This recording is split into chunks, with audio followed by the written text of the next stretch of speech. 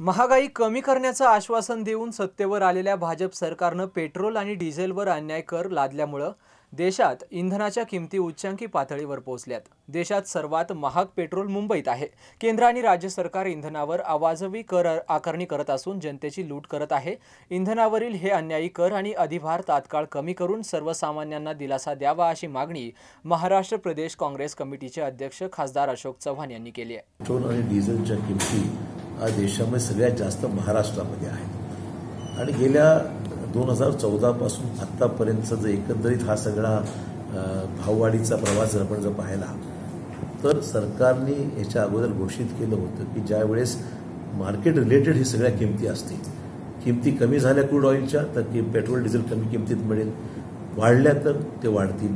पण आपण पाहतोय कमी झाल्या तरी वाढ कायम आहे आणि वाढल्या तरी वाढ कायम आहे. अशा प्रकारची परिस्थिती आहे. याचं प्रमुख कारण म्हणजे शासन ह्याच्याबद्दल गंभीर नाही आहे लोकांच्या खिशातून पैसे सामान्य माणसाच्या आणि ग्राहकांच्या खिशातून पैसे काढणे आणि सरकारची तिजोरी भरणे. रिकामी तिजोरी झालेली आहे. यांना आर्थिक कुठलीही त्यांच्याकडे नियोजन नसल्याचा हा सगळा स्पष्ट संकेत आहे.